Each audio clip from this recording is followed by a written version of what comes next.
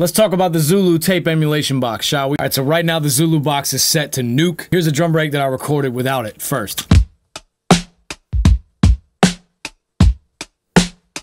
Now, here's the drum break going through the Zulu box.